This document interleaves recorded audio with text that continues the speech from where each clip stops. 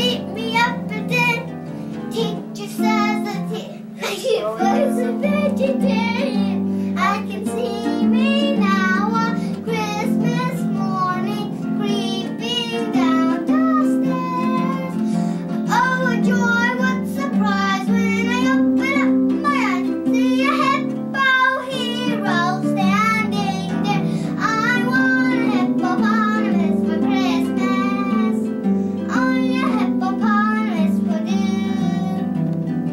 no crop for dogs.